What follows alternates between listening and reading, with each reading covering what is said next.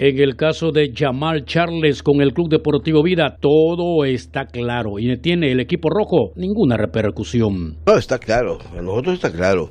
El jugador, bueno, el NAF acaba de emitir un dictamen en donde nos acepta a nosotros nuestra nuestra solicitud de nulidad a la autorización que hizo que hizo un miembro del, del Tribunal de Arbitraje de Fútbol para que Yamal pudiera jugar con cualquier equipo. Eso nosotros y fue aceptada.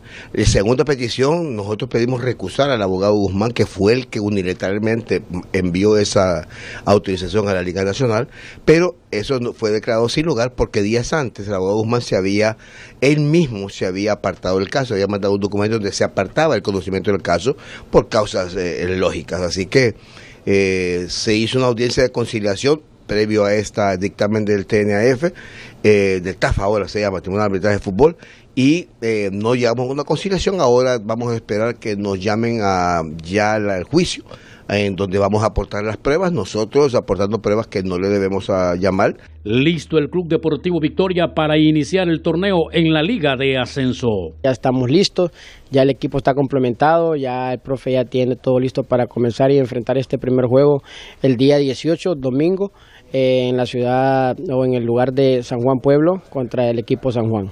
Milton Palacios ahora aspira a ser entrenador y está cumpliendo con todos los requisitos.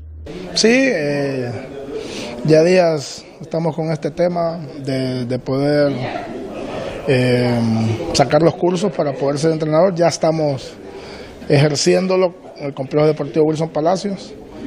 Pero ahí vamos, gracias a Dios, de a un curso intentando llegar al máximo nivel.